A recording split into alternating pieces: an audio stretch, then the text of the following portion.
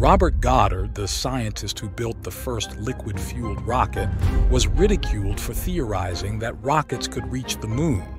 In an editorial, the New York Times criticized him, saying that he seems to lack the knowledge ladled out daily in high schools.